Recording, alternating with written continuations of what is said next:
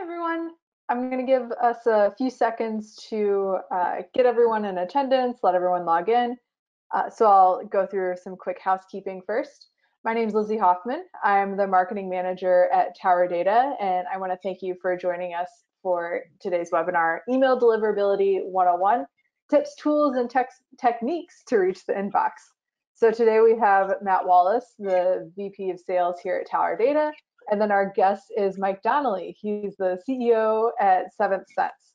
So a little bit of housekeeping first. Uh, if you have questions, feel free to ask them throughout. There's a dedicated question and answer time at the end of the webinar. However, if we see something, we may see something compelling, we may answer it during the webinar.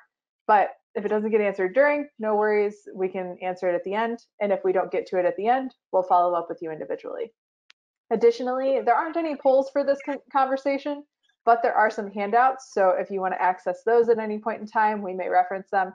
Feel free to do so. Otherwise, this is recorded, so sit back, relax, enjoy, and we'll send you the full recorded session in the next day or so. Uh, so that way you have that to go back and review. So now that housekeeping's done, I'm going to let Matt and Mike introduce themselves, and we'll take it from there.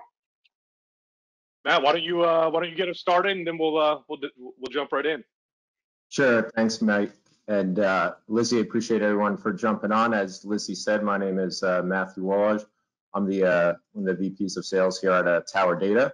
Uh, essentially, we help our customers understand everything they need to know about the person associated with an email to market to them better. And um, we're here today to kind of talk about all the aspects of email deliverability from a sending and technical standpoint. And uh, Mike's been one of our partners for a while and looking forward for an opportunity to get into a, a deeper conversation with him here.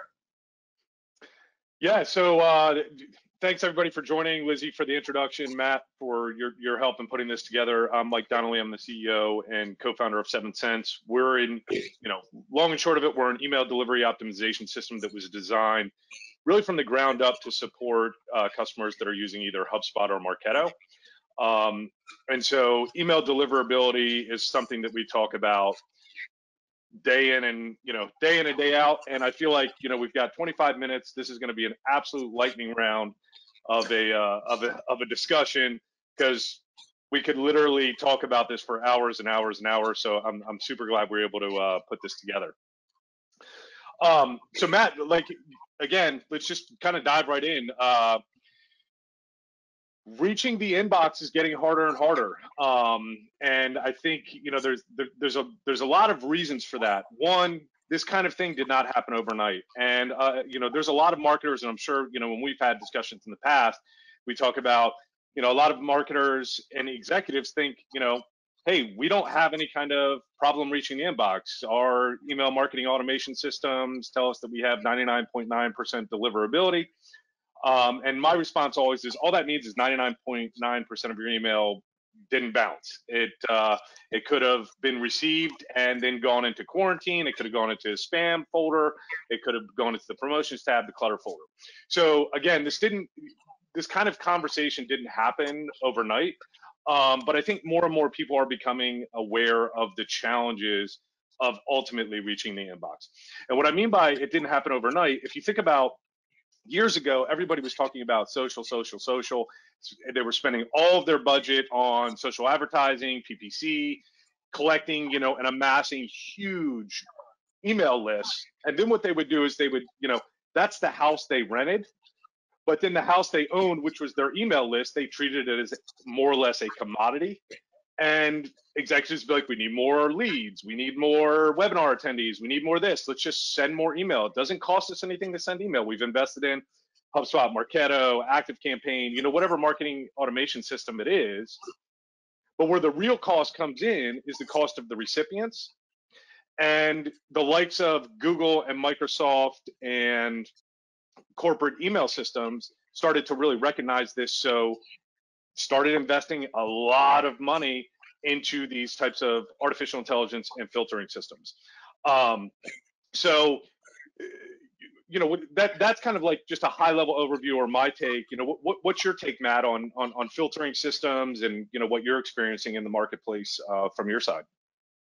So, Mike, I think it's a, a great starting point for this conversation. So, I feel there's kind of two mindsets and there's almost like a power struggle between them. You have the companies that have the opted in emails for prospecting customers, and then you have the mail providers, the Gmails, Microsoft, and the corporate mail providers of the world.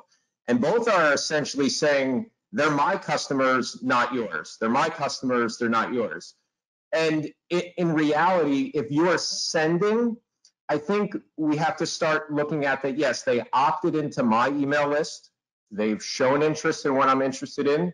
They probably want to receive my content, but it's really going to be up to the mail providers who are providing that email service to the end user who I'm trying to communicate with to set the ground rules, as frustrating as that seems, because you have the mail providers that look at it and say, if I'm Gmail or if I'm Hotmail, when that user is in their Gmail inbox or they're checking their Hotmail, they're in our world and they have to have a good user experience. Why? Because they made that grand bargain with us. Hey, free email, but we're going to use your activity in our platform to better serve ads to you and understand what you're doing and monetize you, right? Okay, free email, but we're going to monetize you as a user.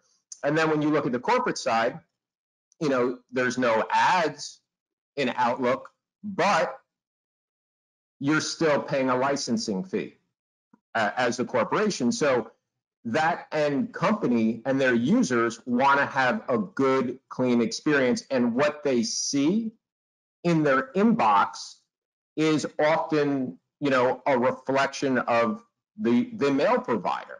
And if they don't have a good, relevant experience in their inbox, you know, that's when they start to get frustrated. So I think as a sender, it's an important mindset to have as much as they opted into us, we still have to really to defer to the mail provider's ground rules and understand really why they are setting those rules.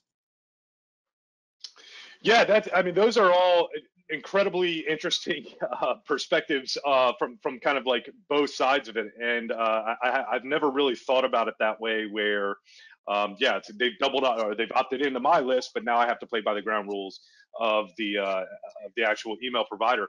Um, and so I think when we really when we start to think about ways of improving your ability to reach the inbox, you're right. We do have to play by some ground rules.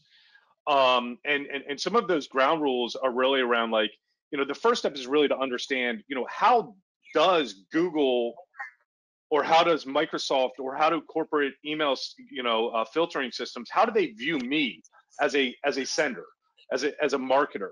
Um, much like we have a credit score in our personal lives that determine how much is a bank going to lend us? Are they even going to lend us money? Uh, what are the terms under which they're going to lend to us? What marketers need to understand is the same thing is happening to you as a sender, where Google and Microsoft are building up a what they call a reputation about you to say, you know, are you inbox worthy? Are you promotions worthy? Are you clutter worthy? Are you more of a spammer? And I'm not talking about your professional spammers that are trying to steal your credit card information. I'm talking about, you know, marketers who just send a lot of email and don't pay attention to the signals that their recipients are leaving behind. Or are you, should we just quarantine your email altogether? Um, we see a lot of the quarantining uh, happening with corporate systems more than you would see like a Barracuda, et cetera, than you would with, uh, say, Google or a, a Microsoft. So really the first step in kind of like understanding what your more or less credit score is or your domain score is to there's a number of tools that you can use to understand how these mailbox providers are viewing you. So Google Google Postmaster Tools is personally my favorite because one, it's super easy to set up. Two, it's super easy to read. And Google provides not only a majority of personal email addresses, but also they probably now run 30 to 40% of all businesses worldwide their emails. Um, they've taken a huge chunk out of, and there's Fortune 500 companies that now use Google as their email, you know, as their email business email provider. Um, so Google Postmaster Tools is definitely uh, the one at the top of my list. There's also a number of other tools, and if you are interested in exploring this more, just you know, reach out to us. We'll we'll certainly get you, you know, a full list. But uh, Sender Scores one, Ta- Talos Intelligence, Reputation Authority, Barracuda Central, Trusted Source. So there's really this kind of even like micro economy around email deliverability and making sure that you have kind of a, a good domain reputation, uh, which will ultimately lead to your ability to reach people uh, in their, um, you know, in their inbox. And there's really, um, you know, so so that's the first part. Is like, how do these mailbox providers view me? And then if I look at the second component, is like, you know, what tools or techniques can I use to to, to really reach the inbox? Um, one of them is an area that we focus in on, which is email delivery op- optimization. What do I mean by that? It's you know, who are you sending to, and how often are you sending to them? Um, and when it comes to email delivery optimization, uh, much like companies invest tremendous amounts in search engine optimization. Um, and why do they do that? Because they realize that when I do a Google search, I'm not going to go to the 10th page uh, of, a, of a search result to get my answer. I'm going to go to the first one, two, three, four, five. The first page is going to get most of the love. The same thing holds true when, you know, whether you're in your personal consumer life or your business life, you're not going to scroll past hundreds of emails to try and find an answer to something especially when marketers are marketing to you, you're going to look for kind of the, the, those kind of top one, two, three emails that solve or address what you're looking for. Um, and so that's one of the things that email delivery optimization does is it allows you to send emails when the recipient is most likely to engage.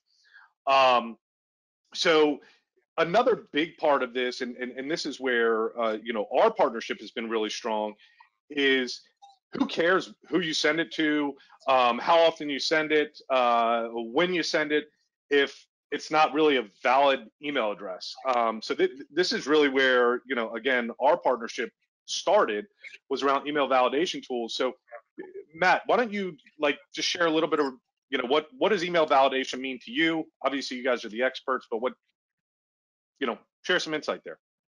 Sure. So, Mike, I think a lot of things that you touched on are are really important. And what I took from that, just for getting into validation quick, is that who you're sending to, if you listen and observe and analyze what their actions are on their emails, your tools are going to help essentially understand that. It's it's not a secret.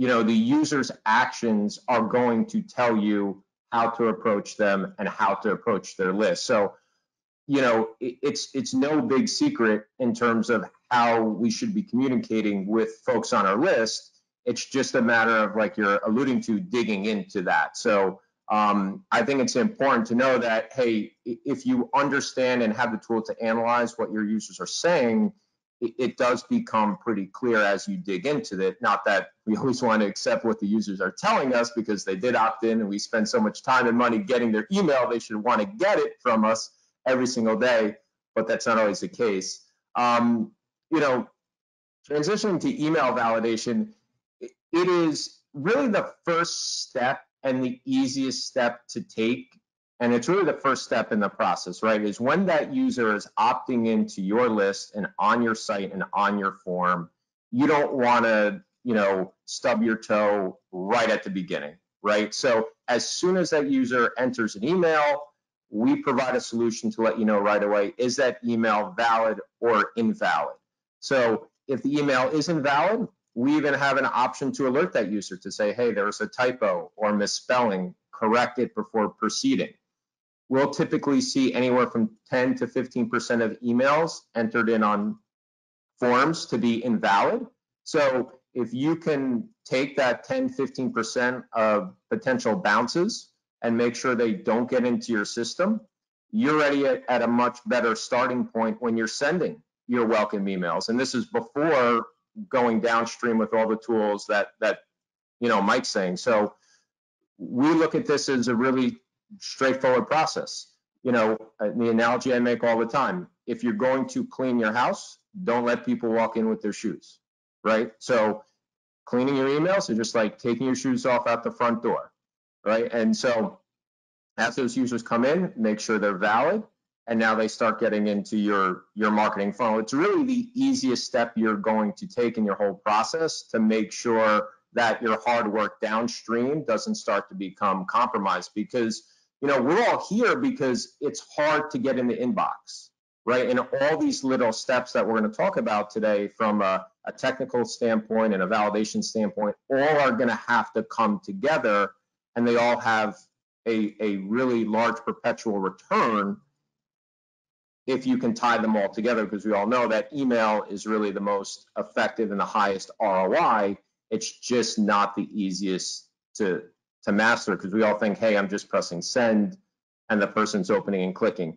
There's so many other dynamics to it that we're going to gradually get into as the conversation moves along. But email validation on the front end is really the, the easiest step, I think, to take to make sure you get off to a good start. So Matt, I, I, I, would love to actually unpack this to see if you have mm. um, a little bit of data on the email validation side, because th- I see this as such a critical step that so many people miss, which which is the email validation step. Um, and, I, and I love the example of if you're going to clean your house, don't let people walk in with dirty shoes as soon as they walk into your house, because immediately your house is going to be is going to be dirty. The same thing holds true with your your your CRM. Your database is going to be just dirty from the from the get go. But um, and, and, actually to hear 10 to 15 percent of of email addresses just come in as invalid, that actually that number seems kind of low to me, um, given what I've seen of people fat fingering Gmail as gmail.com or they fat finger something. Um, but especially organizations, and I know you you do work quite a bit of work with uh, business to consumer type organizations, but like point of sale, um, mm-hmm. hey, when you go to you know either a restaurant or whatever it might be, especially when we get back to more and more normal uh, normalcy, you know, and, and and they're all trying to get into you know digital advertising because it's just much more cost effective. And they ask for your email address. I mean that those point of sale things where you're just actually writing your email address or fat fingering it on an ipad i would imagine is quite quite high as far as those those misspellings come in. And it also leads to one additional issue, which is one of the one of a, a, a huge contributor to what I was talking about earlier with regards to your domain reputation is your bounce rate. If you have a high bounce rate, Google and Microsoft, that is a huge red flag to them, even corporate email systems. That's a huge red flag that dings your all your domain reputation to say, and these people are just not good email senders. Therefore, like I, I just don't really trust them. I'm going to send their emails to, you know, spam immediately or just quarantine them altogether. So, uh, long-winded question of, you know, do, do you see different, um, you know, rates of validation across different industries, whether it be B2B, B2C, uh, et cetera? Yeah, so I would say the biggest influencer is how aggressive you are with your email capture. If you have entry pops, exit pops, if you're asking for email in a more aggressive manner, you know, I understand the marketers stress, hey, listen, we paid to get them to the page, we gotta we gotta convert them, we gotta get their data. If you have any of those features on your site, it could be substantially higher, 25, 30 plus, you know, percent. So I think it's really important to look at how aggressive are our email techniques. If we have any of those in place, I think it becomes a lot more prudent to have a real-time validation tool and where your traffic's coming from. Are you getting a lot of search traffic, Facebook traffic, or are you working with, especially if you're working with affiliate networks or third parties, then yeah, you, you certainly want to be, you know, a little bit more careful with it. But really, it's the easiest thing to do. And, and, Mike, the work that your team would do with them, that's really the hard stuff, right? Because it, it, it, takes time to look at those numbers and reports and, and make changes to sequences and frequencies of contacts and creatives. Like this should be the easy thing. Like just set up your API. If it's good, mail to it. If it's not, you know, don't. This is really the easiest step in the whole process. The hard work to me really comes in on the back end with a lot of your tools to maintain that reputation. And uh, I would just say, just keep it simple, right? Like just make sure everything coming in there is good and and don't, you know, it, if you're going to do all the work with your tools, there's no sense not to make sure what's going in there is not good. Yeah, so that's uh, I, I, I think that's a good segue into some additional techniques um, and tools that that we can all be using uh, in our in our um, you know kind of lives as as email marketers. And and like you you know one one of the things that I always like to to look at is hey we're spending so much time and energy into the creative side of things creating the content uh, building out you know nurture campaigns or drip campaigns or you know coming up with ideas of how we can be different. But none of that really matters if we can't make it to the inbox and here's a little bit of a scary stat uh, for everybody and not to use scare tactics but only about 80% of today's commercial uh, email makes it to the inbox uh, or makes it close to the inbox that means 80% of today's email uh, commercial email is either going to the clutter folder, the promotions tab, or maybe the primary inbox.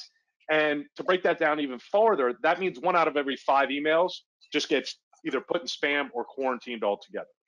So some things that you can really think about um, and, and do to, to improve your domain reputation, which is really what we're here to talk about, because that's ultimately what determines whether or not you're going to be making it to the inbox, is the first of those being you've really got to try to, at the very minimum, stay at or uh, above your industry averages uh, as far as open and click rates. I can't tell you how many customers come to me and say, we have a 10%, 5%, 15% open rate, even some that say I have 25% open rate, even 30%. And it's like, flip this on its head. Why is 70 to 80 to 90% of the people that gave you their email address not engaging with you?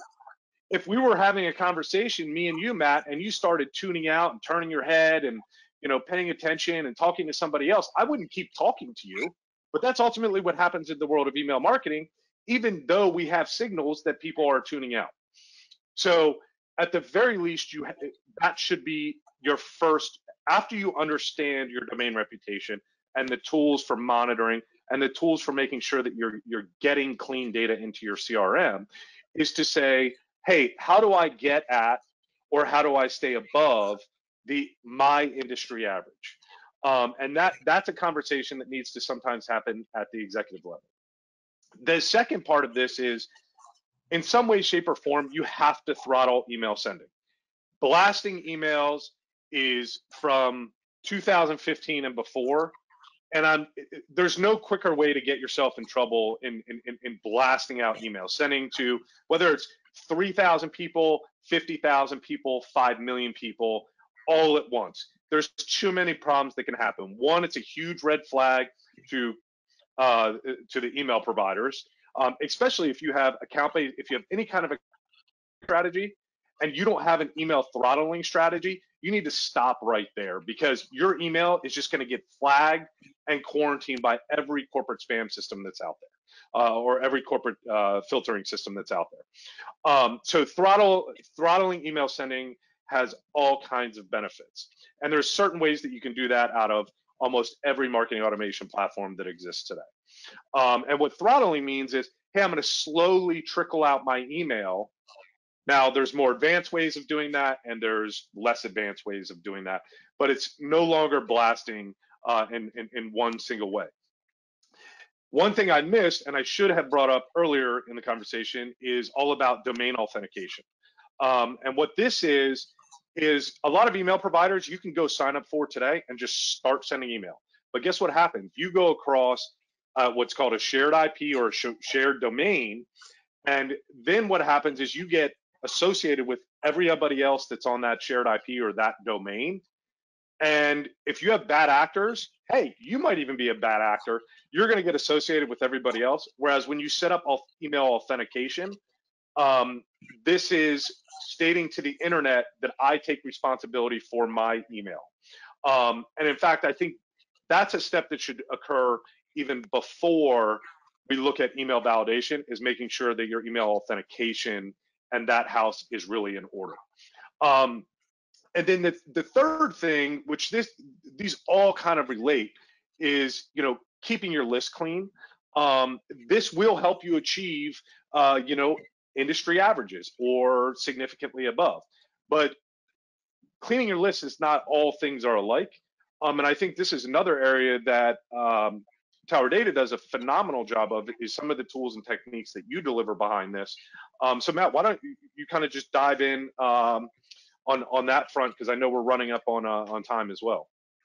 Yeah, and I would just piggyback on the uh, throttling technique. I mean, one thing that I think gets overlooked by senders is that as you're throttling, like what's your strategy for throttling? And one of the real good, easy ways as you're throttling is to think of your emails as you're restarting an educational process about whatever you're selling or whatever you're trying to tell them. Because oftentimes as senders, we get caught up in, hey, buy this, purchase this, book this, and now buyers are more educated than ever. So they're going to put your company in Google, they're going to put your software in Google, they're going to do their research, they're going to look on social media. So to me, as you throttle, there should be a, a strategy to throttle. And maybe you're starting from scratch just saying, hey, I'm selling this product or service.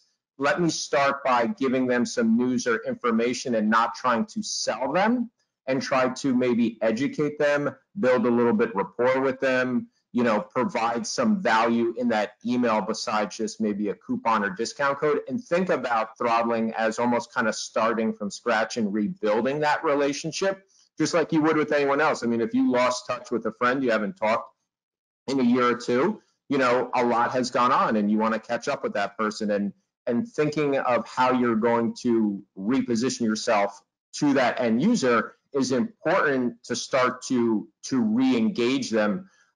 And I found this actually pretty impressive. I did an example. I got a tree removed um, last winter by a local company, and I got an email from them which really stood out to me actually two months ago. And they're like, "Hey, here's everything you know need to know about removing." you know trees in the spring what you should be aware of i'm like this is a small company that's doing tree removals in, in my county. And I was like really impressed and it stood out. It wasn't just like, hey, do you have another tree we can knock down?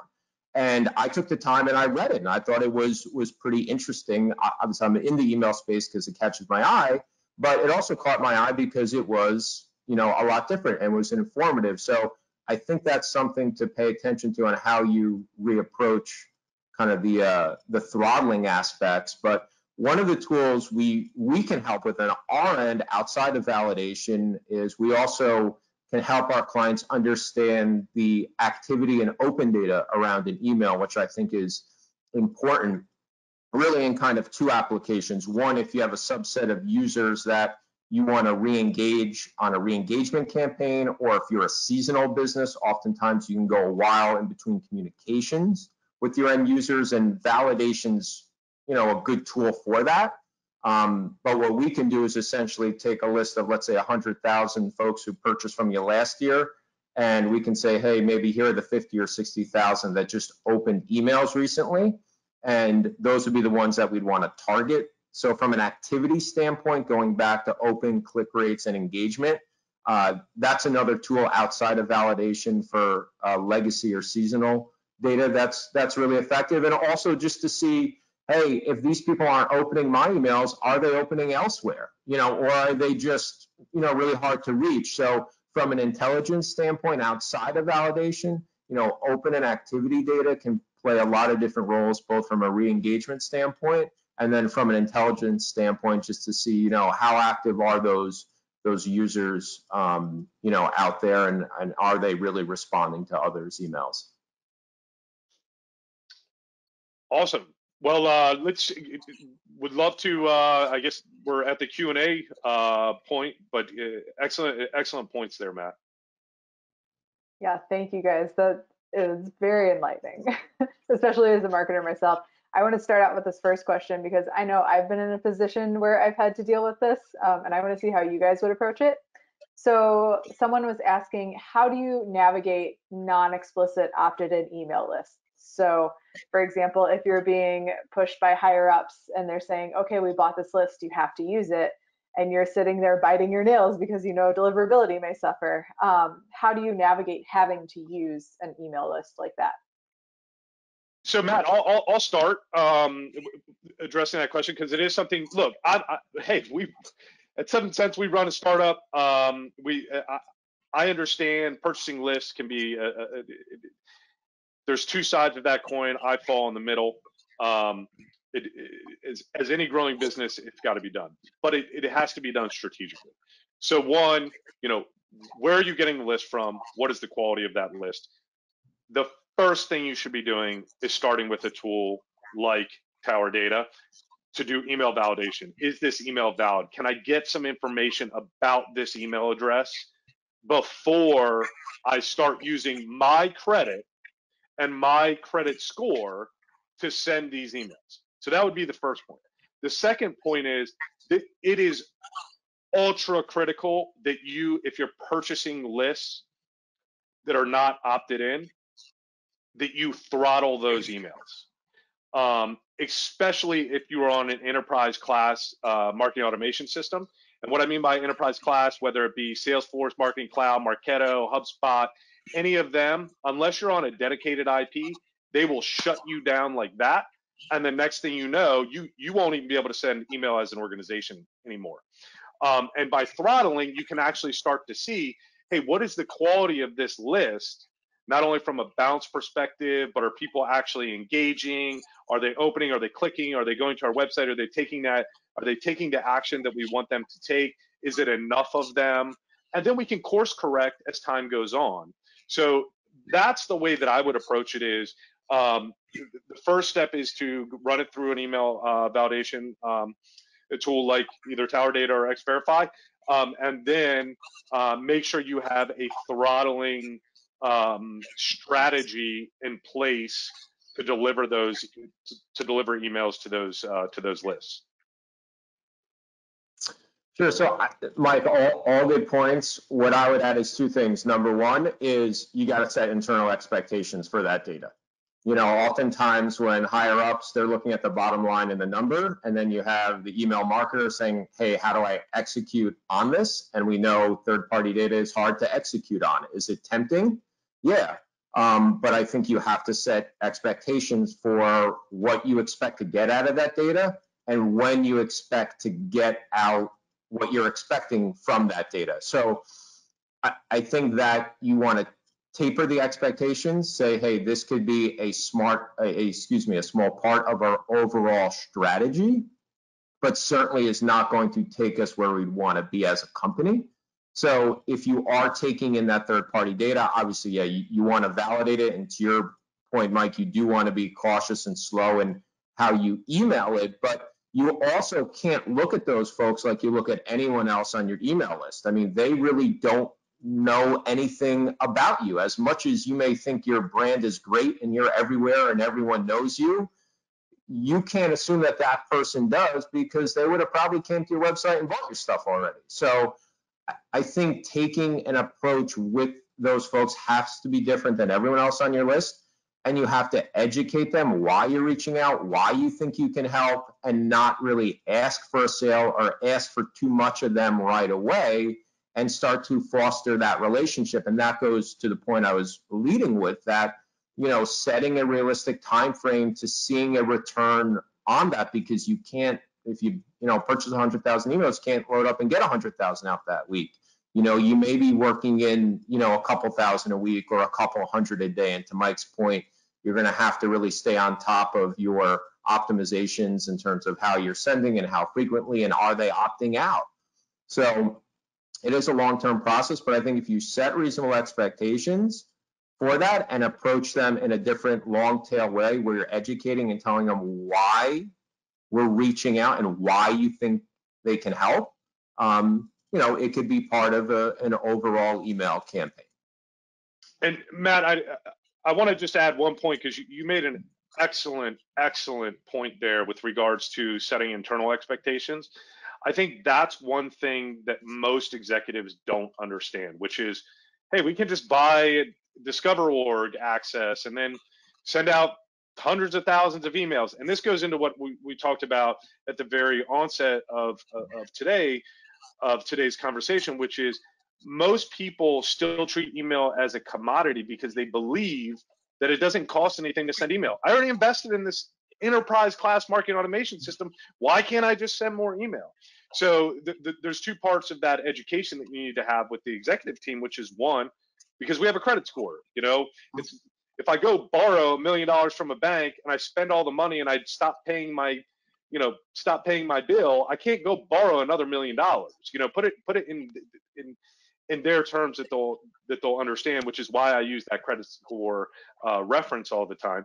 Um, so setting that upfront expectation that hey, this could take this could be a really good part of our strategy, but it can't be our only strategy. Um, and we really do need to think about how we're going to get these emails delivered and what type of content we're going to ultimately deliver. Yeah, and I think one thing to mention too is that it's important to have the perspective. And I think sometimes marketers and organization, when they buy list, it's so easy that they almost take for granted how they're going to approach that person compared to someone who you may have paid $2 a click to get to your site and want to have 10 convert. And you're looking at, hey, I paid 20 bucks. So you're going to approach them a different way. But you got to look at it. You have one chance to make an initial impression on this list that you purchased. So that first engagement, you can't be asking for too much. You're not going to have the opportunity to come back them come back to them with offer two, offer three, offer four. It's just not going to happen, right? Like if someone purchased from your site, sure, you could do that. Hey, how about another 10% off, 20% off? Oh, I'll wait next week. Maybe I'll get a 30% off coupon. That does work. And listen, we've all done it. We've all purchased that way. But if these are brand new folks, you you have to be very mindful that you're going to get that one initial opportunity, and if it isn't concise and you're not providing any value to them, you know, and, and be patient with that solicitation process or sales process or communication process, it's it's going to go south much quicker than folks on your internal opted-in list. Yeah. Well, and speaking of things going south, I have one final question that I want to ask both of you guys that came through um, that I found really interesting. Uh, say you've already been blocked by uh, your Google or you've already been blocked, your domain is blocked. What is the best way to get unblocked? You're already going south. How do you go back up? Um, first, you got to understand why why you got blocked and I think you also have to look at for the period of time you were getting deliverability, what were you doing and what changed? And I think Mike, Mike and his tools can probably speak in much more granular detail in terms of how that came to be. But I think those would be kind of two good starting points to understand, you know, why you're there and and why you weren't before and try to identify really what that you know, what changed in that period of time. So excellent point, Matt. And it, there's there's there's really two pieces of it, and it's it's actually not very hard. Um, if you if you get into a bad reputation state with Google, most of your email is is is going to spam. The first thing you need to do is you need to talk to your executive staff and coming back to expectations of, hey, uh, like we know numerous B2C companies and even some B2B companies, which I, I it, honestly floors me that this is how some of marketers are gold. How many emails did you send this month? It's like, who gives a crap of how many emails I sent this month? Um, it, it, it's like, what was the quality of the email that I sent, and et cetera. So when you get into those types of situations, the first thing is you need to have a, an executive conversation that this is not like flip on, flip off the switch. We actually have to dig ourselves out of this. And then we also have to put a strategy in place so that we don't fall back into this.